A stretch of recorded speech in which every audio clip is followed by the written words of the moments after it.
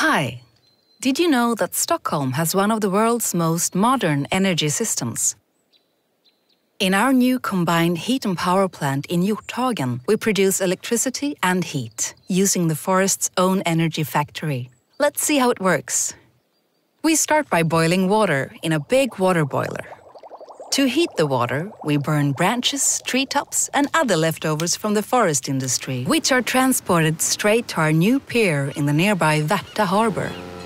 When the water boils, steam is created and the pressure grows. And when we let the steam out, it bursts out at an enormous speed. The steam sets a rotor in motion inside the turbine, where the rotor weighs 29 tons and spins at a speed of 3,000 revolutions per minute. The electricity that is generated is distributed into the electrical grid. But the steam continues its journey. It collides with a bunch of steel pipes in a heat exchanger the steam has now heated up the water inside the pipes to a temperature of 70 to 100 degrees Celsius. This is one of the smartest things about the plant. It's a combined heat and power plant. This means that the steam can be used to generate electricity and to heat up Stockholm through the district heating network. The electricity produced here every year can power a huge number of electrical cars, and the heat is enough for lots and lots of homes. In many parts of the world, the steam is cooled down in special cooling towers. This means that almost 60% of the energy goes up in smoke, or steam that is. Not very smart, huh?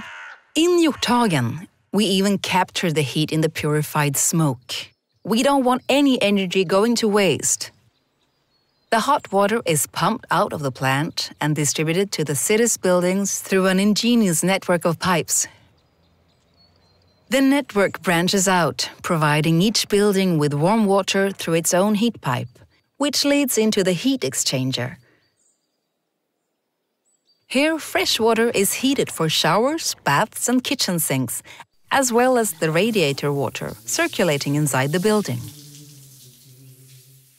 The district heating water is then pumped back into the heat and power plant in Hjorthagen to retrieve more heat before it goes back for another round in the city.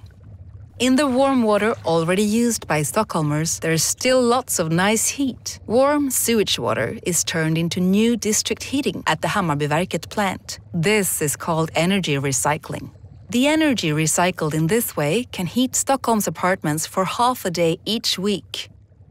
Excess heat from Stockholm's data centers, as well as solar energy stored in the seawater, also help keep tens of thousands of apartments warm and cozy.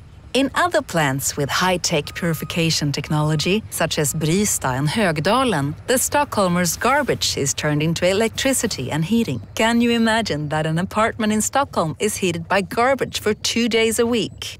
Almost all of the energy used in Stockholm is either recycled or renewable. We have come a long way, but it's not enough. Our curious, innovative, and responsible employees are working hard to meet our goal 100% renewable or recycled energy. Thank you for joining us on our tour of one of the world's most modern energy systems.